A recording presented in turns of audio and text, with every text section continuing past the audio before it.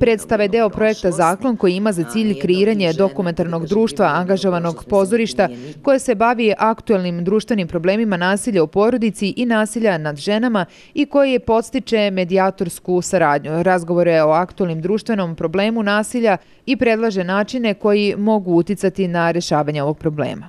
I ideja je bila ta da napravimo jedno, jednu pozorišnu predstavu a, mi smo to nazvali kao aktivno pozorište, a, koja bi obrađivala problem nasilja u porodici, koji je jako prisutan u našem društvu danas, i to posebno jednu od posledica nasilja u porodici o kojoj jako malo pričamo, a ta posledica je u stvari ta da se često dešava da žene žrtve nasilja, dugogodišnje žrtve nasilja, nemajući nikakav način da se izbore sa tim svojim problemom, da izađu iz tog nasilja, dolaze u situaciju da od žrtve postaju one same zločinke, da kažemo tako, odnosno postaju same izvršioci najtežih krivičnih dela.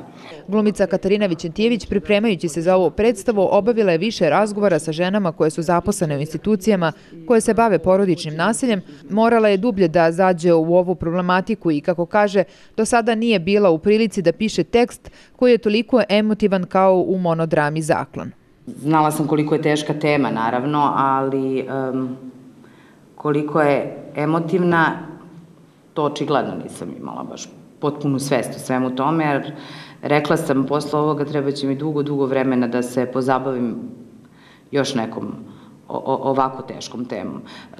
Prvo, ja na sreću nemam tu e, vrstu iskustva, samim tim je trebalo naći neku e, polaznu osnovu.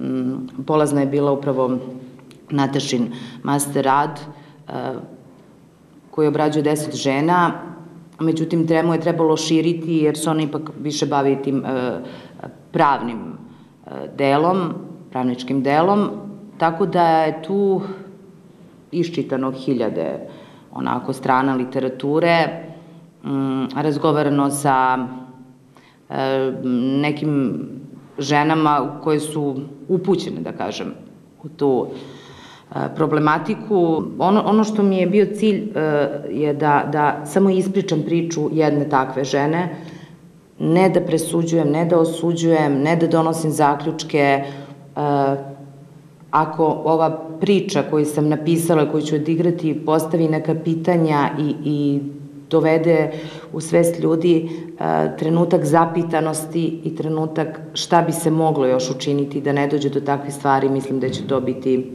što se mene tiče sasvim dovoljno. Ideja projekta je i da se angažuje što više mladih ljudi, tako da je izbor kostima radila Lana Kozica, scenski pokret Anđelija Milutinović, a fotografije projekta Nina Praščević, dok su članovi grupe Tremendum radili muziku. Sastavili smo takvu muziku koja je zapravo ogoljena, kostur, koja, ko, ko, čiji je smisao da izazove uh, neku vrstu neprijatnosti u, u, u čoveku. Sa druge strane, ovo je zaista bila, bio izazov za nas jer do sada nismo imali prilike da radimo muziku za predstavu i posebno da, da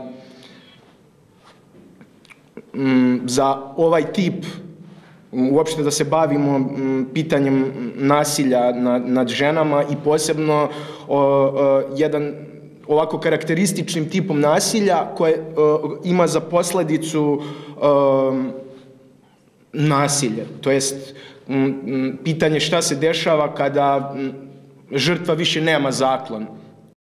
Nakon predstave organizovane tribine na kojoj će učešće uzeti predstavnici grada i nadležnih institucija koje se bave problemom nasilja u porodici. E, mislim da je vrlo važno da se kaže da je u Srbiji u 2014. godini 16 e, žena bilo žrtva e, porodičnog nasilja sa smrtnim ishodom.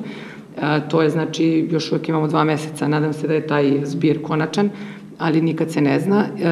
Da se strašno pomene onda da se podvuče taj značaj da se angažuju ljudi, da se napravi izmene u zakonu gde bi se žene koje su dugo godina bile žrtve nasilja, a na kraju počinile taj, to krivično delo ubistva tog svog partnera koji ih je zlostavljao, da bi dobile poseban tretman u zakonu koji poznaju neke razvijene zemlje kao što su Amerika, Kanada, Australija i tako dalje.